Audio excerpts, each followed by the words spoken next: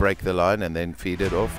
And here's how Francis Hughes, the man who scored the first try of this men's competition, and he just puts his foot down, looks over his shoulder. There's no no need for him to look for a support runner because he's already over the line by the time he's he sh- just showed his heels to the Palestinians.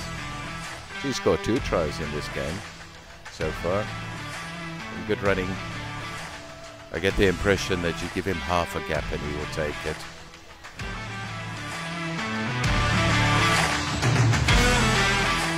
Uh, pretty good. And who's that man that goes in the corner?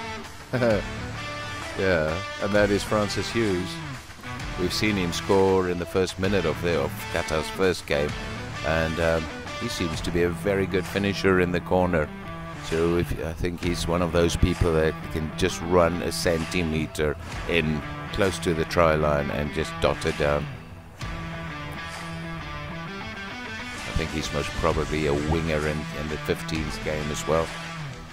And I think he's, he's one of those guys that can slide over the try line for two or three meters on a, on a wet pitch. Very strong running. When he gets the ball, he only knows one way, and that's corner flag. Okay, so Qatar's got all their subs on now. There we see Francis Hughes. He's going to be a forward now. He's he's the guy that scores scores the tries on the wing, and he's, he's a forward now. That's the beauty of sevens.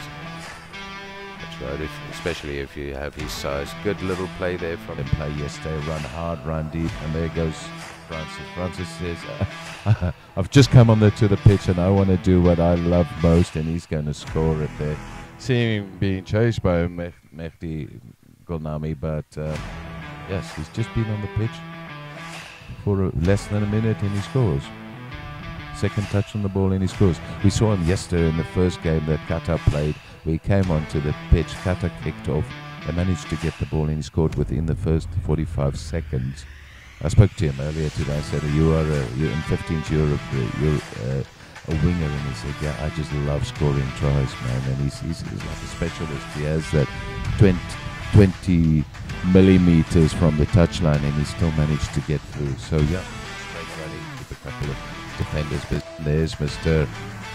Mr. Speedster, Francis Hughes. He's the he's he's the one who scored a try yesterday, the first try of, of, of the men's tournament within 30 seconds after the kickoff. And he's going to try to bump a few players and then flick, flick it to Francis. Yeah, there goes Francis Hughes. I think officially we can actually call that corner, rename that corner the Francis Hughes corner, because he has scored so many tries in that corner.